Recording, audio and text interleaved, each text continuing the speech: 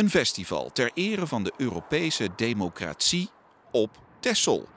Het klinkt misschien wat exotisch, maar in het kader van de aankomende Europese verkiezingen is dit weekend het eiland het domein van de eurofielen. Waarom met u hier, meneer? Het is een eh, festival over Europese democratie. En ik ben daar met een eh, spel over Europese democratie. Sommige Tesselaars komen ook een kijkje nemen. Het komt wel een beetje vreemd over. Nou ja, het is een beetje ontessels dit. Uh, ik was hier van de week en toen waren ze aan het opbouwen. En uh, nu zie ik allemaal mensen van beveiliging rondlopen. Dus uh, dat zijn we eerlijk gezegd niet zo gewend hier op Texel. Voor de organisatie van het Democracy Alive Festival is het ook wel wennen. Het festival wordt voor de eerste keer georganiseerd en is gebaseerd op de Scandinavische traditie van het vieren van de democratie. In Denmark and in Sweden, they're both on islands, and in Norway, they are by the sea.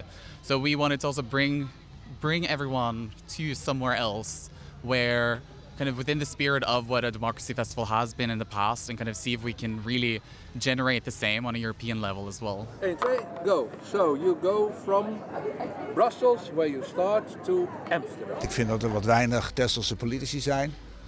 En Is dat niet jammer? dat vind ik heel jammer. Ik denk dat je het juist uh, zou moeten promoten.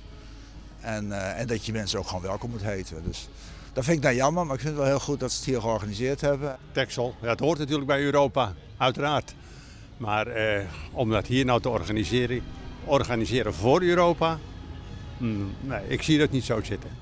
Misschien dat de verdeelde reacties onder de Tesselaars over dit Europese feestje iets te maken heeft met de afgelopen verkiezingsuitslag, waarbij het eurokritische Forum voor Democratie op het eiland de grootste is geworden. Ja, maar die doen ook in het spel mee. Want de, hè, je hebt in het spel zes politieke partijen. Dus uh, uh, conservatieven, liberalen, socialisten en anti-Europeanen. Die maken onderdeel van, het, uh, van onze Europese democratie uit.